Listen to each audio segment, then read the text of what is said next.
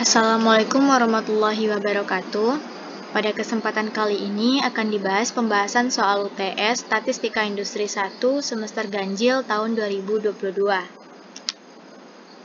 Soal pertama, misalkan saudara ditugaskan untuk memperbaiki sistem kerja sebuah stasiun kerja. A. Sebutkan dan jelaskan stasiun kerja yang akan saudara pilih. B. Sebutkan dan jelaskan tentang apa yang akan saudara perbaiki dari stasiun kerja tersebut. C. Jelaskan peranan statistika deskriptif dan statistika inferensial dalam proses perbaikan. Uh, baik, untuk bagian A, sebutkan dan jelaskan stasiun kerja yang akan saudara pilih. Nah, contohnya di sini saya memilih stasiun uh, pemeriksaan kualitas pada pabrik manufaktur.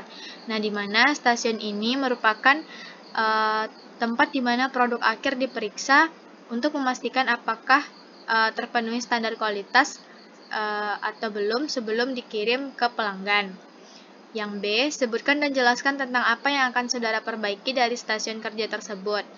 Nah, di sini uh, saya ingin memperbaiki dua hal, yaitu pertama efisiensi pemeriksaan, di mana saya akan memperbaiki proses pemeriksaan agar jadi lebih efisien. Yang B, pengumpulan data, di mana saya akan mengimplementasikan sistem pengumpulan data yang efisien untuk mencatat dan menganalisis hasil pemeriksaan. Pertanyaan yang C, jelaskan peranan statistika deskriptif dan statistika inferensial dalam proses perbaikan tersebut. Untuk bagian statistika deskriptif di sini digunakan untuk menggambarkan dan merangkum data pemeriksaan kualitas, di mana termasuk perhitungan rata-rata, standar deviasi uh, dari hasil pemeriksaan tersebut. Nah, informasi ini akan membantu dalam memahami tren dan pola dan pola kualitas produk. Untuk yang statistika inferensial, di sini digunakan untuk membuat keputusan berdasarkan data sampel. Nah, contohnya, kita dapat melakukan pengujian hipotesis uh, jika ingin mengetahui atau menentukan eh, produk-produk uh, mana saja yang uh, sudah sesuai dengan standar kualitas. Nah, di sini kita akan melibatkan uh, uji T, uji T-square, dan uji-uji lainnya untuk mengambil keputusan apakah ada perbedaan yang signifikan atau tidak dengan hasil pemeriksaan uh, standar kualitas yang sudah ditentukan. Selanjutnya yaitu soal nomor 2. Diberikan nilai uh, diberikan n sama dengan 8 dengan hasil pengukuran 3 1 5 6 4 4 3 5. Pertanyaannya hitunglah rentang uh, yang B hitunglah rata-rata sampel, yang C hitunglah varian sampel dan simpangan baku. Nah, untuk uh, soal yang pertama yaitu rentang atau disebut juga dengan range. Untuk uh, rumus range itu sendiri yaitu uh, X maksimum dikurang X minimum. Kita lihat dari data yang diberikan, nilai paling maksimum yang kita punya yaitu angka 6 dan nilai minimum yang kita punya yaitu angka 1 sehingga uh, 6 dikurang 1 sama dengan 5. Uh, selanjutnya itu rata-rata sampel. Rumus rata-rata sampel yaitu sigma x, xi per n. Nah, sigma xi ini uh, kita yaitu kita jumlahkan semua nilai hasil pengukuran dibagi dengan n sebanyak 8 sama dengan uh, yaitu 3 kita dapatkan 31 per 8 sama dengan 3,875. Selanjutnya yaitu menghitung varian sampel. Varian sampel ini simbolnya S kuadrat, di mana uh, rumusnya sigma XI dikurang uh, rata-rata di, dikuadratkan per N kurang 1. Nah, jadi di sini uh, kita kurangkan setiap nilai XI dengan 3,875 yang merupakan rata-rata yang sudah kita dapatkan sebelumnya, kita kuadratkan. Uh, begitu selanjutnya dibagi dengan 8 per 1 8 dikurang 1 sehingga kita dapatkan nilai varian sampelnya yaitu 2,410 selanjutnya yaitu simpangan baku. Simpangan baku ini merupakan uh, akar dari varians uh, yang dilambangkan dengan S. Karena varian sudah kita dapatkan sebelumnya sehingga uh, dapat langsung kita cari dengan akar dari uh, 2,410 dan dapatkan simpangan baku sebesar 1,552 Baiklah, untuk soal selanjutnya, Tabel berikut ini menunjukkan hasil penimbangan berat badan 1000 orang penduduk dewasa di suatu kota. Pada soal diberikan informasi mengenai tabel distribusi frekuensi. Untuk pertanyaan yang A yaitu gambar histogram dari data tersebut. Perlu rekan-rekan ketahui, histogram ini merupakan representasi gambar data menggunakan batang persegi panjang yang berdekatan antara satu dengan yang lainnya. Dengan garis horizontalnya berisi rentang nilai tengah dan garis vertikalnya berisi dari berisi frekuensi. Uh, hal pertama yang harus rekan-rekan lakukan yaitu membuat garis horizontal menggunakan skala dari nilai tengah kemudian membuat garis vertikal dengan menggunakan skala frekuensi. Lalu setelah itu rekan-rekan dapat membuat grafik batang dengan tinggi menyesuaikan dari frekuensi intervalnya. Seperti pada gambar. Untuk soal yang B yaitu hitung rata-rata dari berat badan. Uh, untuk mencari nilai rata-rata, uh, diperoleh dari hasil bagi antara perkalian frekuensi setiap kelas dikali dengan titik tengah dibagi dengan uh, jumlah frekuensi pada setiap kelas. Jadi, uh, untuk menentukan nilai rata-rata itu, rekan-rekan perlu mengalihkan frekuensi pada kelas 1 dikali dengan titik tengah pada kelas 1, frekuensi pada kelas 2 dikalikan dengan titik tengah pada kelas 2, hingga pada frekuensi kelas 10 dikalikan dengan titik tengah pada kelas 10.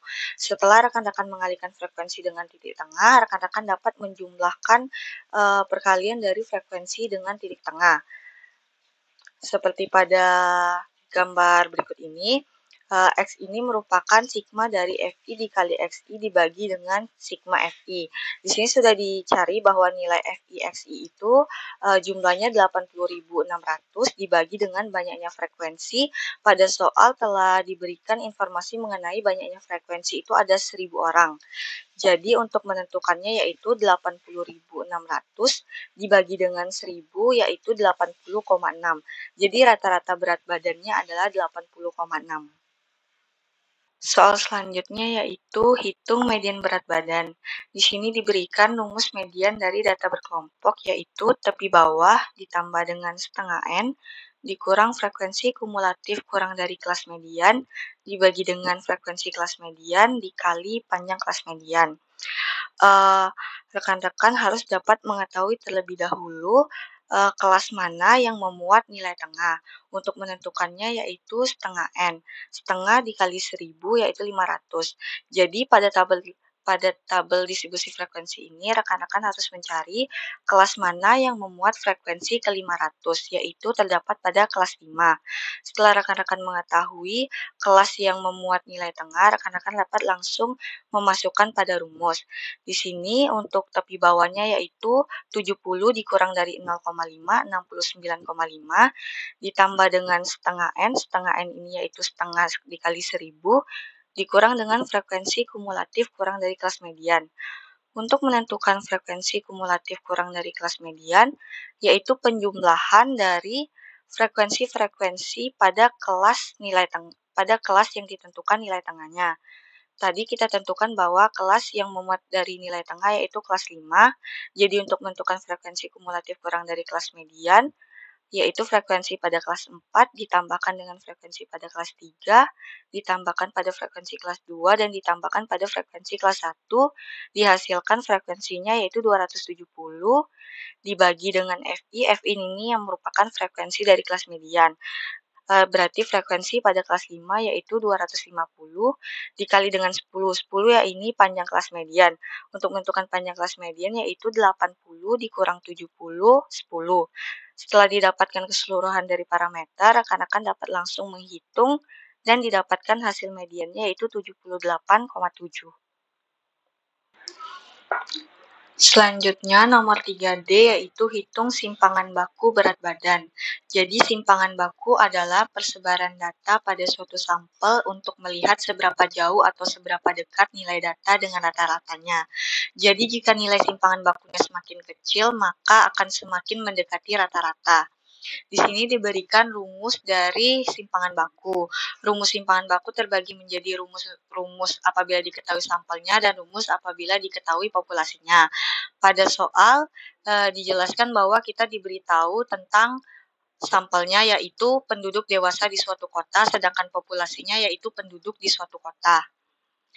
Rumusnya yaitu akar dari uh, FI buka kurung nilai tengah dikurang dengan rata-rata dikuadratkan dibagi dengan N kurang 1. Jadi rekan-rekan uh, dapat menentukannya dengan cara titik tengah dikurang dengan rata-rata yang sudah kita cari pada soal 3B, kemudian dikuadratkan dan dikali dengan frekuensi. Begitu seterusnya sampai pada kelas 10. Setelah ditentukan, baru rekan-rekan dapat menjumlahkan keseluruhannya dan didapatkan nilainya 330.640. Sesudah itu, rekan-rekan dapat langsung memasukkan ke dalam ke dalam rumus, jadi simpangan baku sama dengan akar dari 330.640 dibagi dengan N kurang 1.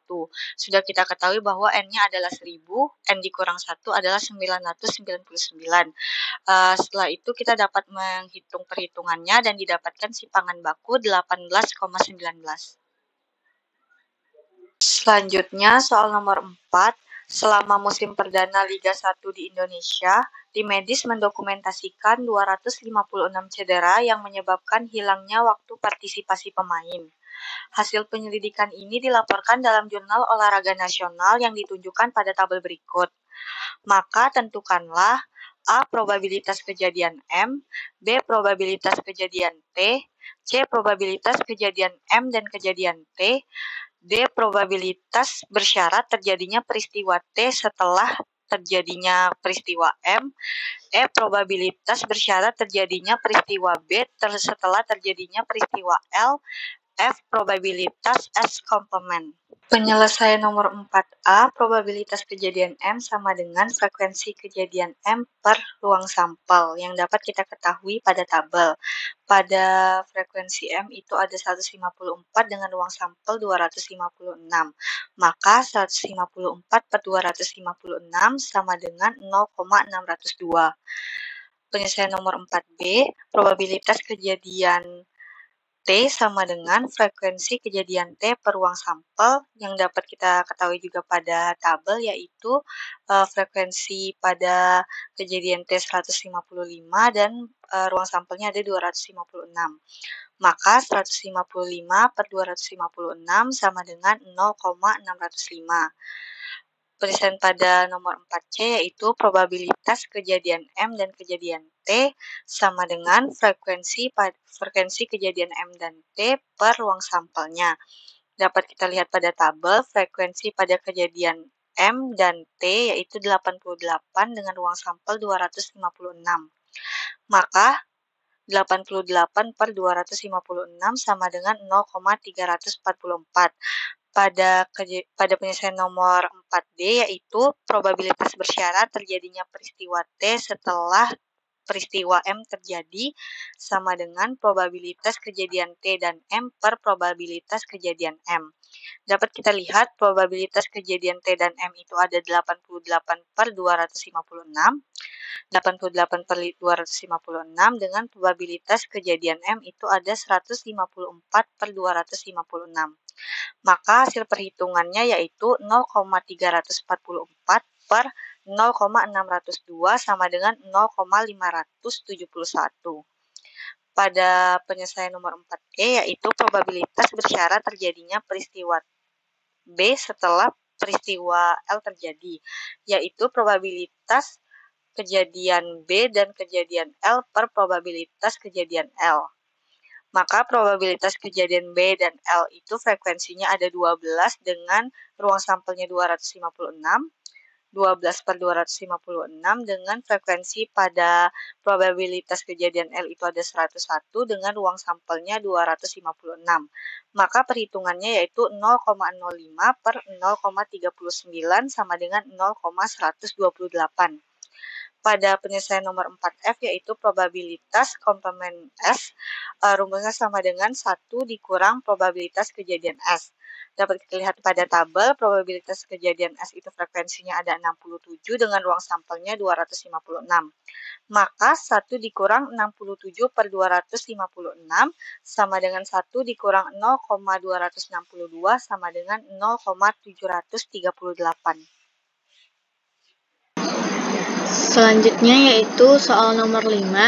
Perusahaan menyerahkan produk kepada konsumer konsumennya dengan lot-lot berukuran 1000 unit produk. Berdasarkan pengalaman sebelumnya, rata-rata dalam 1000 unit produk terdapat 20 unit memiliki masalah mekanikal, 10 unit memiliki masalah elektrikal, 15 unit memiliki masalah sensori, 8 unit memiliki masalah mekanikal dan elektrikal, 5 unit memiliki masalah mekanikal dan sensori, 4 unit memiliki masalah elektrikal dan sensori, dan 3 unit memiliki masalah mekanikal, elektrikal, dan sensori. Apabila sebuah produk dari lot tersebut dipilih secara acak, tentukan A. Peluang produk tersebut memiliki masalah mekanikal atau masalah elektrikal B. Peluang produk tersebut memiliki masalah mekanikal atau masalah elektrikal atau masalah sensori C. Peluang produk, produk tersebut bagus D. Sebuah produk diambil secara acak dan diketahui bahwa produk tersebut memiliki masalah sensori, berapa peluang produk tersebut juga memiliki masalah elektrikal. Uh, baik, untuk yang bagian A, peluang produk tersebut memiliki masalah mekanikal atau masalah elektrikal. Nah, untuk pertanyaan ini merupakan uh, konsep pro konsep probabilitas gabungan di mana ditandai dengan kata atau. Nah, uh, dari konsep probabilitas gabungan sendiri, karena di sini masalahnya ada dua kejadian, uh, yaitu masalah mekanikal atau masalah elektrikal, sehingga kita butuhkan informasi berupa uh, total total unit atau NS uh, sebanyak 1000 unit, masalah mekanikal atau NM sebanyak 20 unit, masalah elektrikal atau NE sebanyak 10 unit, masalah mekanikal dan elektrikal atau N, M irisan E sama dengan 8 unit. Nah, dari informasi ini, uh, selanjutnya kita masuk ke bagian perhitungan. Nah, untuk probabilitas M atau E, itu rumusnya probabilitas M ditambah probabilitas E dikurang probabilitas M irisan E. Nah, dari sini uh, kita pecah masing-masing dari rumus probabilitas, yaitu banyak kejadian per uh, banyak sampelnya atau banyak total unitnya. Nah, dari sini kita substitusikan nilai yang sudah diketahui tadi, yaitu e, uh, 20 unit masalah mekanikal per 1000 ditambah 10 unit masalah elektrikal per 1000 dikurang 8 per 1000. Nah, sehingga kita dapatkan probabilitas dari uh, masalah mekanikal atau masalah elektrikal yaitu sebesar 0,002. Selanjutnya yaitu uh, soal yang bagian B, peluang produk tersebut memiliki masalah mekanikal atau masalah elektrikal atau masalah sensori. Nah, sebenarnya uh, konsep dari soal B ini sama sama dengan soal A, hanya saja di sini punya tiga masalah tiga uh, macam kejadian yaitu masalah mekanikal atau masalah elektrikal atau masalah sensori.